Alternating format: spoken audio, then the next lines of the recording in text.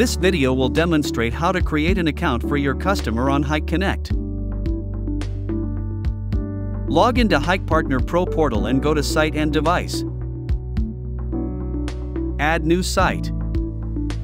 Fill in the site name and select a time zone. Click on Team as the site type and choose Services to activate.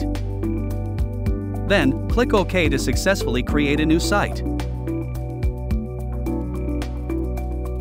Click on Handover by transferring. Here you can see the activated services. Click on Handover and fill in the end user email address.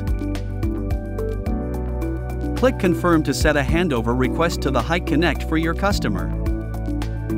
Customers can now log into their Hik-Connect account and view the request. Please remind customers to carefully read terms of services and Team Service Privacy Policy. Click Agree and the account is created successfully.